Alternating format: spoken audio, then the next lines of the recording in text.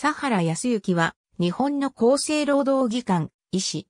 世界保健機関本部、シニアアドバイザー、厚生労働省大臣官房危機管理、医務技術総括審議官等を経て、厚生労働省健康局長。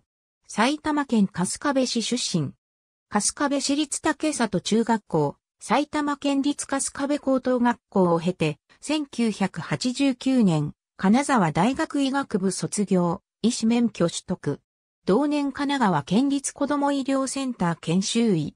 1991年厚生省入省。保健局医療科医療指導監査室配属。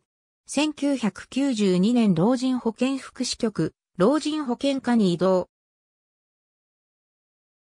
1994年大臣、官房厚生科学科課長補佐。1994年からハーバード大学大学院に留学し、1995年に同修士課程修了。1995年保健医療局国立病院部運営企画課国立病院診療所対策室企画専門官。1997年生活衛生局食品保健課課長補佐。1998年大臣官房厚生科学課課長補佐。2001年和歌山県福祉保健部次長。2003年和歌山県福祉保健部健康局長。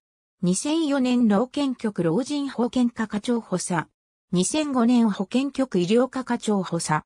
2006年医政局総務課、医療安全推進関係医療安全推進室長。2009年大臣官房総務課、企画関係統計情報物件政策統括官付け、社会保障担当参事官室、社会保障カード推進室長。2010年県政策統括官付社会、保障担当参事官室情報、連携基盤推進室長。